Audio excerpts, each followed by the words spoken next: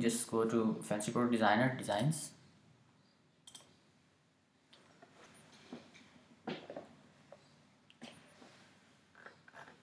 Select category. Just I have I have just added two categories shirts and cups just for the sake of demonstration. Shirt and then add designs.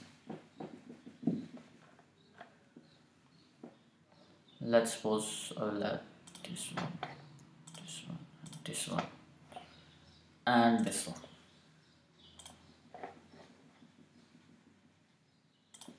Just click on save changes. Okay. Then reload the product. So all the designs will be available in the specific design categories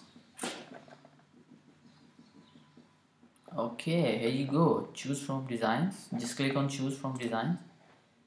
Shirt.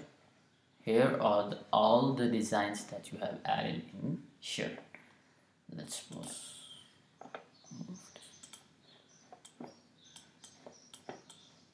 you can from here you can just adjust it.